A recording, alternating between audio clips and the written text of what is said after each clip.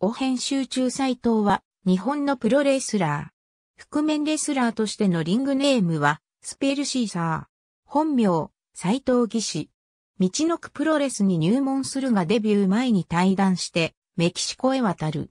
1994年7月3日、覆面レスラー、スペルシーサーとしてデビュー。1997年、登竜門の一期生として入門して、リングネームを斎藤に改名。2001年10月28日、登竜門ジャパンリファ、有明大会で引退試合が行われた。引退後は、登竜門ジャパンのインストラクターに転身。12月10日、登竜門ジャパン駒沢オリンピック、公園屋内球技場大会において、斎藤の弟子を名乗る、スペルシーサーが、ドラゴンキッドとタッグを組みたい、持月徹ダークネスドラゴン組戦でデビューしているが、シーサーの声が斎藤に似ていることや、斎藤の過去の活動歴から同一人物疑惑が絶えなかった。